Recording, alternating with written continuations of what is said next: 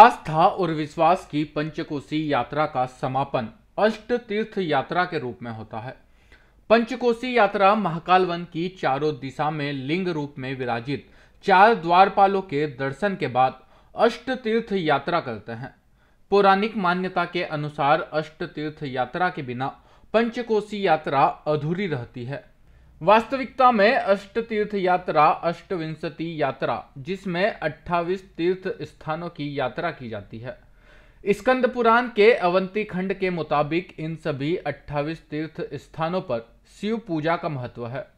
पंचक्रोशी यात्रा के साथ ही की जाने वाली 28 तीर्थ स्थानों में से कई विलुप्त भी हो गए हैं। इन 28 तीर्थों में से एक है कर्कराज तीर्थ। जिसे पौराणिक और भौगोलिक मान्यता के मुताबिक पृथ्वी का केंद्र माना जाता है। लॉकडाउन में पंचकोशी यात्रा के चार पड़ाव पूरे करने के बाद उज्जैन में अष्टतीर्थ यात्रा का भी बहुत महत्व है। पौराणिक मान्यता के अनुसार जब पंचकोशी यात्रा पूरी होने के बाद लोग अष्ट तीर्थ यात्रा करते हैं, तभी पूरी तरह से पंचकोशी यात्रा का उन्हें प्रतिफल मिलता है, उन्हें पुण्यफल मिलता है। तो आज हम पहुँचे हैं कर्कराज मंदिर जहाँ से अष्ट तीर्थ यात्रा में ये मंदिर शामिल है। और मान्यता ये भी है कि ये मंदिर बहुत ही प्राचीन मंदिर है और सबसे बड़ी बात यह है कि ये मंदिर तो यह निर्धारित करता है कि जो उज्जैन है, वो सृष्टि का केंद्र है और यहीं से सृष्टि की उत्पत्ति हुई है। तो हम जानेंगे इस मंदिर के बारे में, चर्चा करेंगे यहाँ विद्वानों से और जानेंगे ज्योतिष के मुताबिक इस स्थान का कितना महत्व है। ज्योतिष शास्त्र और दृष्टिकोण से अगर देखा जाए तो यह आधारशिला मानी जाएगी जो विद्वान और के लिए विशेष रूप से और खास करके ज्योतिषियों के लिए, क्योंकि कालगणना का प्रमुख केंद्र दक्षिण मुखी श्री महाकालेश्वर दिव्य ज्योतिर्लिंग होने से महत्व विशेष रूप से मध्य बिंदु के रूप में इसी स्थान में कर्क राज स्थान जो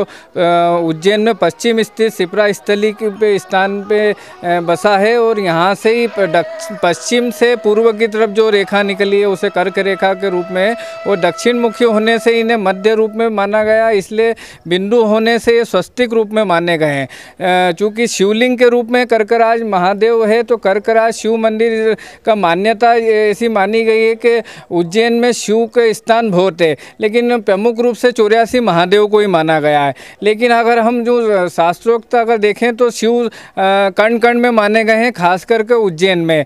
जो जो व्यक्ति भी जातक जैसे ज्योतिर्लिंग के अनुसार या चौरासी महादेव में या किसी महादेव में पूजा पाठ नहीं हो पाते हैं तो वो कर्कराज में आके ने अभिषेक पूजन करते हैं तो उनकी पूजन स्वीकार कर ली जाती है। विशेष करके महत्व इसलिए माना गया है, वो साथ में ज्योतिष शास्त्र के अनुसार पृथ्वी का जो तेईस अक्षांश जो माना गया है, साढ़े तेईस अक्षांश जो पृथ्वी उत्तर की तरफ़ झुकी होने से यह बिंदु रूप से, विशेष रूप से कर्कराज का महत्व इन्हें यहाँ पे स्थान के रूप में माना गया है इसके अलावा रुद्र सागर नरसिंह घाट नीलगंगा संगम तीर्थ, रामघाट स्थित पिसाच मोचन तीर्थ, चक्र तीर्थ, सोम तीर्थ, अंगारक तीर्थ, ओखलेश्वर तीर्थ, गंगेश्वर तीर्थ ऋण मुक्तेश्वर तीर्थ शक्ति भेद तीर्थ, सिद्धवट तीर्थ के साथ ही पाप मोचन तीर्थ और केडी पैलेस स्थित पेतशिला तीर्थ शामिल है। लॉकडाउन के कारण इन तीर्थों में अधिकांश मंदिरों में ताला पड़ा मिला। ऐसे में हम पहुँचे केडी पैलेस। कभी सिंधिया राजघराने का पर्यटन केंद्र रहा केडी पैलेस, अब पूरी तरह उजाड़ और वीरान है। अब यहाँ केवल पंचकोशी यात्रा के समापन और भूतड़ी अमावस्या के अलावा बारिश के दौरान भीड़ उमड़ती है। लेकिन इस वीराने में भी हमें यहाँ एक महिला और पुरुष पूजन करते मिले। जिनके सहयोग से हमने यहाँ बावन कुंड में विराजित भोलेनाथ और बावन भैरव के साथ हांडिया भैरव का पूजन कर अभिषेक किया।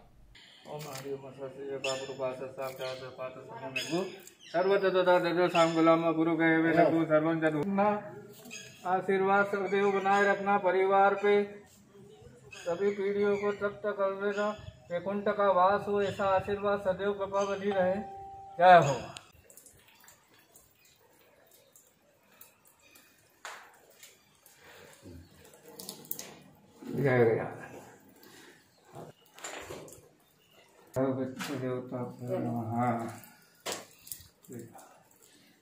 उजाड़ता और वीराने का शिकार कालियादेव पैलेस पर स्थित प्रेतशिला तीर्थ की तरह अष्ट विनस्पति यात्रा में आने वाले बाकी तीर्थ इसी तरह की अनदेखी और वीराने का शिकार होकर विलुप्त हो गए हैं जिनमें गंधर्व तीर्थ केदार तीर्थ देवप्रयाग तीर्थ वेणी तीर्थ योग तीर्थ कपिलाश्रम तीर्थ घृतकुल्या तीर्थ मधुकुल्या तीर्थ नारादित्या तीर्थ केशवदित्या तीर्थ त्रिभुवन वंदिता तीर्थ मंदाकिनी तीर्थ ब्रह्म तीर्थ शामिल है।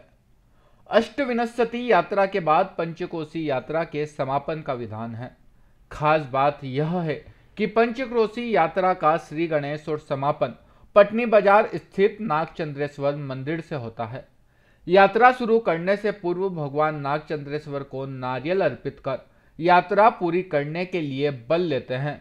तो यात्रा पूरी करने पर भगवान नागचंद्रेश्वर को बल लौटाने का भी प्रावधान है। यात्रा पूरी करने के बाद हर एक पंचकोशी यात्री यहाँ भगवान नागचंद्रेश्वर को मिट्टी का घोड़ा अर्पित कर यात्रा पूर्व लिया गया बल लौटा देते हैं।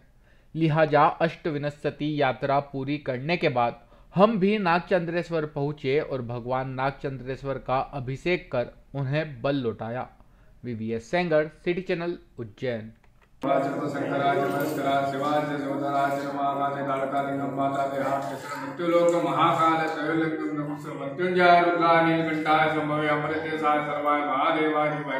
Avantika वैता शिवाय